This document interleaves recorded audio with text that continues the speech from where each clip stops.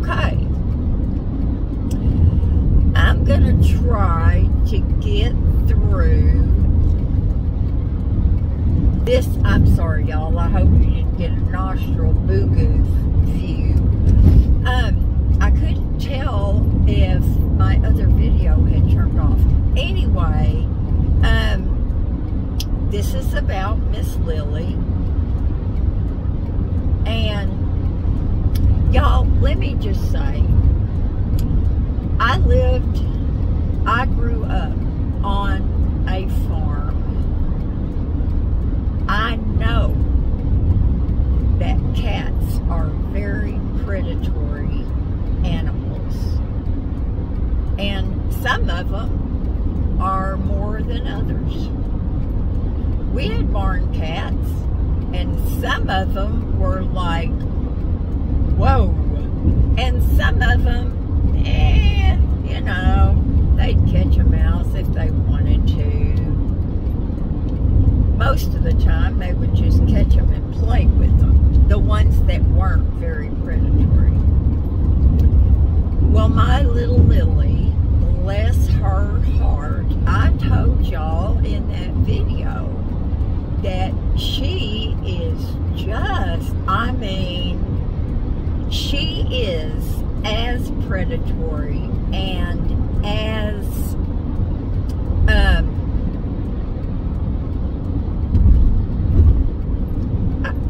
wild is not the word, but she is a go-getter and she's very, her instinct is strong. That's the word I was fishing for. Her instinct is very strong. And I know that. And I know that um, that I accept her the way she is. She is the most wonderful, wonderful kitty cat. She is just amazing. I bought her and Toby uh, each one of those fishes, you know, that flops around. I wasn't I wasn't gonna give Lily hers until Toby came over tonight. But I don't know why I did. Jerry was there. Anyway, uh, I wish I would have taken a video, but I was getting ready to leave the house. But I will take a video tonight of them uh, playing with their fish. Toby is going to be terrified of it. Talk about two cats being like night and day. They're actually like Deborah and Jerry. They are as different in a lot of ways as night and day, and very much alike in others. But, um, wow, it must be getting off time for people that work.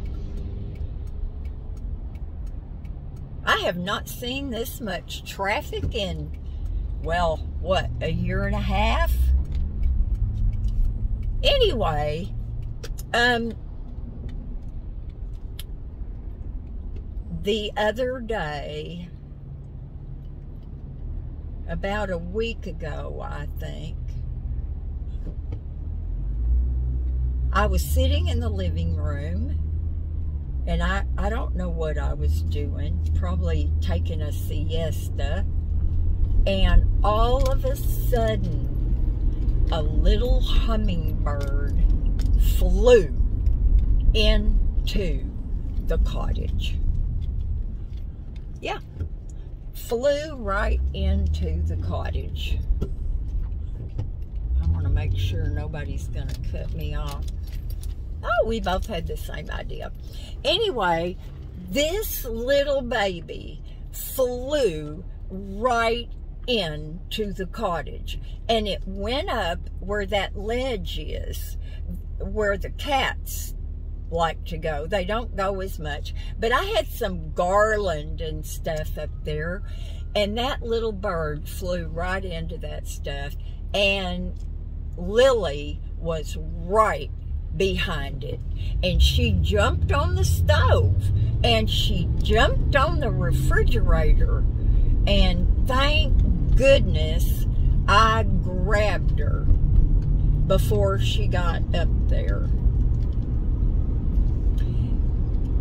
That poor little bird, I put her in the laundry room and shut the door and that poor little bird, I felt so sorry for him. Um, he he came out of the the um, uh, garland and he was trying to fly and he kept hitting his head on the ceiling and then he ran into the window that faces out toward the front and I was just frantic. I thought, please do not let this little bird injure himself. I finally, first, I got him to land. I had a notebook in my hand, and and I got him to land, but I didn't get halfway across the room, and he flew off. I finally got the broom and put it next to him, and he climbed on it, and um,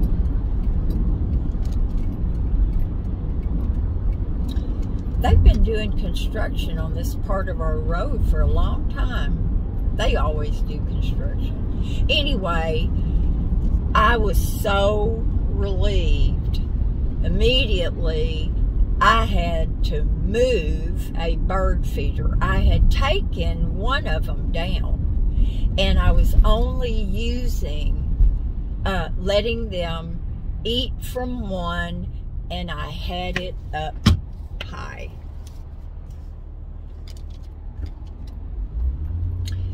So I took it and um, I put it down at the very end of the patio and I put it almost to the top of the top of the patio roof.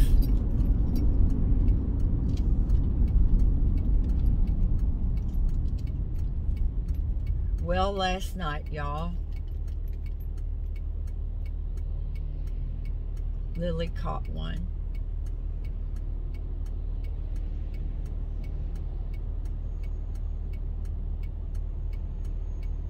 Jerry's the one that saw her, of course. And he got the little girl away from her. But it was too late.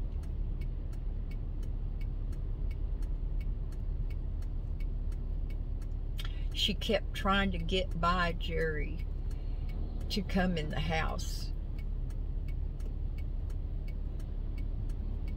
I wonder why she always wants to bring stuff in the house. But it was horrible.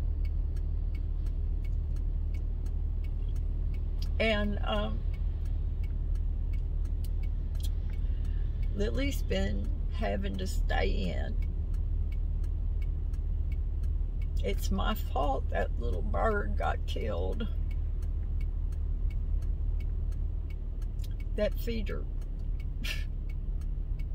it is gone, gone, gone. I should have known. I should. But here's the thing. That yucca tree that I planted at the corner of the front yard, they, oops, they love to sit on that yucca tree. And I know that's probably, oh, I need to go down here. That's probably, um, I don't know, y'all. Anyway, it was horrible. It was horrible. And I am so thankful that Jerry was there. I don't know what I would have done.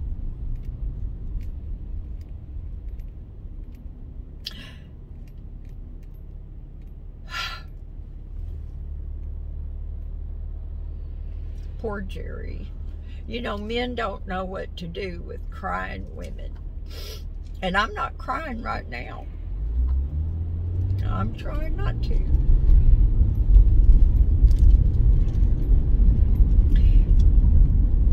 I don't blame Lily for that. I blame myself for that. So, actually, I mean, aside from the, you know, terribleness, I'm proud of my cat. She is, she's an awesome kitty. And she would be a heck of a good mouser. Maybe I should move to the country. I don't know. But I'm not parting with my little girl because she's doing what she was created to do. It's entirely my fault that that baby or that it was a lady hummingbird and um, so I am keeping a very very close watch and any drips of sugar, water, whatever. I'm mopping my, um, I've wiped them up, but I'm going to mop my um, patio. That'll be a jog. But, you know, she, she just, her instincts are really, really strong. But today, yesterday, um, and today, or you know, the rest of the day yesterday after that happened, um, I did not see any more hummingbirds, and I'm glad. I am going to miss them so much. I enjoyed them so very much.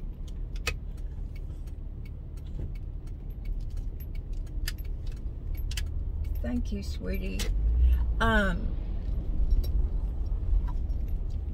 I didn't, I've been outside the whole day until I went to um, San Marcos. I'm trying not to do my dishes and um, I didn't see a one. And that is totally, totally unusual. Oh, I hope you're not having car trouble, honey. Um, very unusual. In fact, the little red-headed one was getting so comfortable that I could be standing a foot from him. And he would come on and he he would take a few sips and then he'd fly off a little bit and he'd come back. Now, if Lily was out there or Jerry was out there, you know, they uh, they might come and get a drink, but they would leave right away. when Jerry came over today, I mean, I was searching the internet for netting that I, I mean, mesh, not netting, but mesh. So I could put it all over from my uh, patio ceiling down to the, I just wanted to be able to keep them out. But I have not seen any of them today. Not one. They haven't even come looking for the bird feeders or bird feeder. They figured out really quick where it was.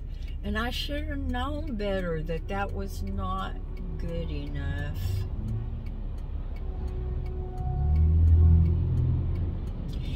It's really hard to forgive yourself for um,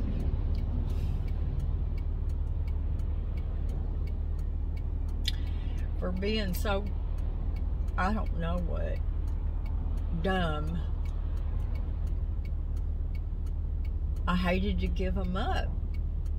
But that's not an excuse. Hello, Oceanside's finest. Um, so anyway, um, yeah. I did that. It was my fault. Jerry is so sweet. He is such a pain in the butt, but he is so sweet. He took the little girl and he had her wrapped up in some um, some paper. And today, when he came by, he brought this big roll of uh, netting. And he also told me I didn't throw the little bird away I buried it. That's so sweet. Um, the netting he brought, though, we tried to catch a little sick bird with it and a bigger one than a hummingbird, and it just was too big. They would get caught in it. So that's it, y'all. I don't have any more hummingbirds and and I just, you know, God forgive me for being so stupid. I can't even believe I did that, but I did. But anyway, that just reiterates how much I love my little girl. And unless she attacked a baby in the face, She's not going anywhere. I love y'all. Do something fun today. I know this was not fun, but like I said, I put it all out there. And make yourself happy. Okay? It's important. So, um, y'all try not to be too hard on me about that. I'm, I'm pretty hard on myself. Anyway, love y'all. Bye. And I'm going to make another video.